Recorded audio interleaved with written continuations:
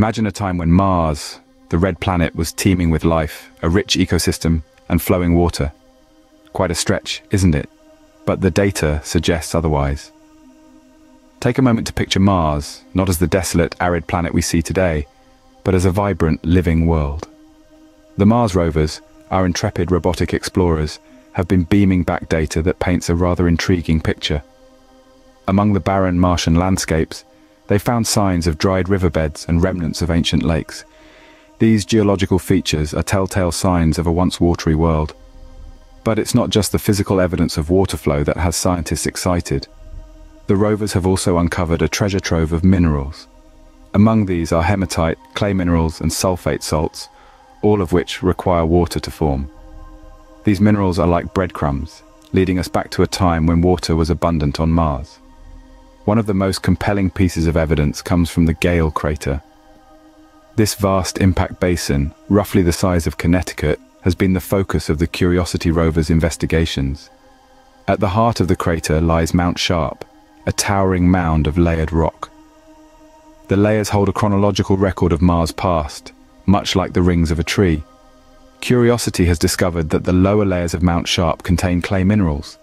Now, clay is particularly interesting because it forms in the presence of water. Not just a fleeting splash, but long-standing, stable bodies of water. This suggests that the Gale crater was once home to a persistent lake, a body of water that existed for thousands, if not millions, of years. So we have evidence of water, in the form of dried riverbeds, ancient lakes and water-formed minerals, but water is just one piece of the puzzle. It's the first step on the long road to life as we know it. So Mars once had water, but does that mean it had life too? Water is a key ingredient for life as we know it, but water alone does not guarantee life.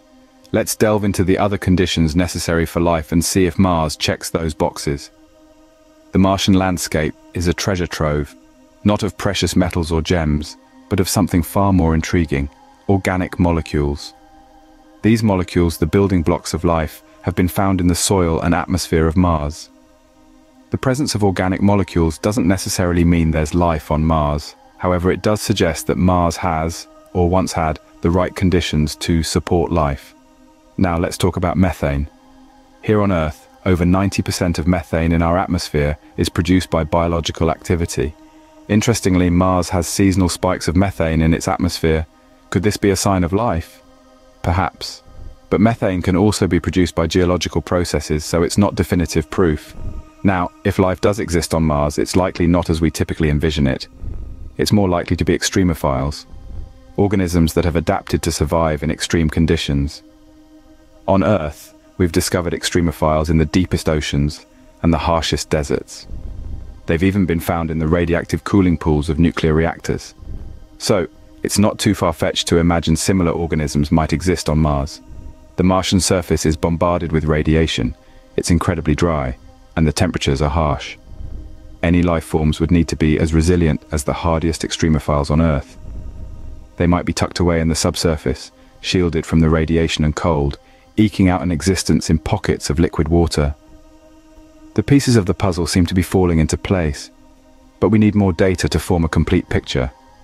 Remember, our understanding of life is based on what we know from Earth. The universe, however, may have more surprises in store for us.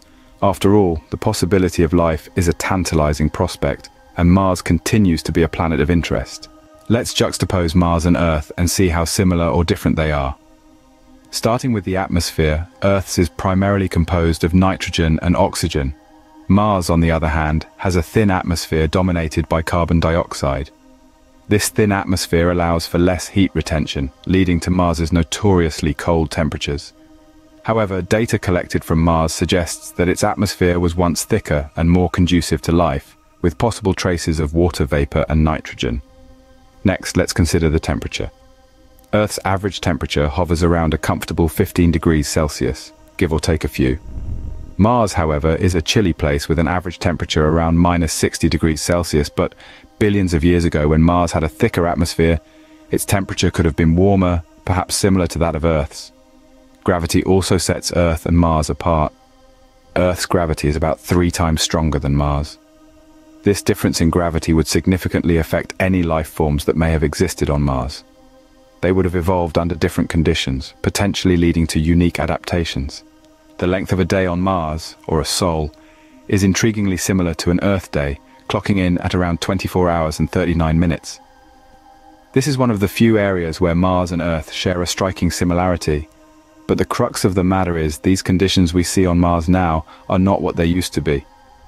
Based on data collected from various Mars missions, scientists believe that billions of years ago, Mars was much more Earth-like.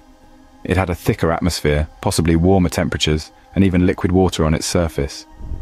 This opens up the tantalizing possibility that Mars could have once been home to life.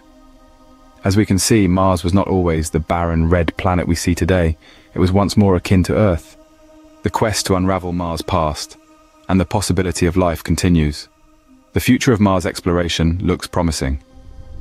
Imagine this, an era where Mars is no longer a distant red planet, but a familiar place, a second home for humanity. That is the vision that drives the upcoming missions to Mars. A vision driven by scientific curiosity and the spirit of human exploration. In the coming decade, a slew of missions are set to take off. Each one is a chapter in the ongoing story of Mars. Each one designed to shed light on the planet's past, its potential for life, and its future as a possible outpost for humans. One such mission that has piqued the interest of scientists around the world is the Mars Sample Return Mission. This ambitious project aims to do something that has never been done before. Bring back samples of Martian soil to Earth. And not just any soil, but soil that could potentially hold the answers to whether life ever existed on Mars. The Mars Sample Return Mission is a three-part campaign that involves NASA, the European Space Agency, and a number of international partners. It begins with the Mars 2020 mission, which involves the Perseverance rover currently scouring the Jezero crater a site believed to have once held a lake. Perseverance will collect and seal samples in titanium tubes, leaving them on the Martian surface. The second part of the mission involves a fetch rover that will collect these samples and load them into a Mars Ascent vehicle. This vehicle will then launch the samples into Mars orbit. The final leg of the journey involves an Earth return orbiter, which will rendezvous with the samples in Mars orbit, capture them, and bring them back to Earth. The entire process from collection to return is expected to take about a decade. This mission, like many others planned for the future, is a testament to our desire to understand Mars and its mysteries. As we continue to explore Mars, who knows what secrets the red planet might reveal? So, was Mars once like Earth? Did it have water, life, and everything in between? The data certainly points in that direction. Over the past nine and a half minutes, we've embarked on an interplanetary journey exploring the fascinating world of Mars and its similarities to our own home planet. We've delved deep into the scientific theories and data that suggest Mars was once a habitable planet, teeming with water and potentially life. The presence of dried up riverbeds, reminiscent of our earthly waterways, and the detection of methane in the Martian atmosphere, a gas often associated with biological activity, have led scientists to hypothesize that life may have once flourished on the red planet. We've also compared Earth with Mars, examining their similarities and differences. The striking resemblance in their axial tilts, the presence of polar ice caps, and the evidence of ancient water bodies on Mars all hint at a time when Mars might have been more Earth-like. The importance of ongoing and future Mars missions cannot be overstated. These explorations are not just about understanding Mars's past, but they also hold implications for our own planet's future. The more we learn about Mars, the more we understand about planetary evolution and perhaps our place in the cosmos. The red planet continues to intrigue and surprise us. As we decode its secrets, we might just find that Mars was once not so different from